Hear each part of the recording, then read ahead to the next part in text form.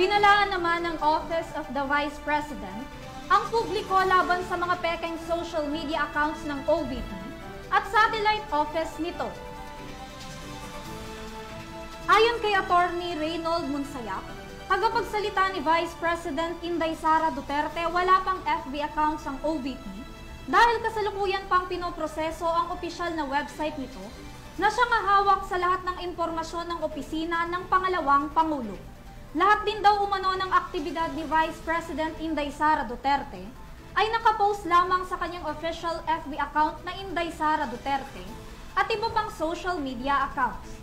Sa ngayon ng OVP ay mayroon pa lamang OVP satellite sa mga lungsod ng Dagupan, Pangasinan, Cebu, Tacloban, Zamboanga, Davao at Tandag sa Surigao del Sur.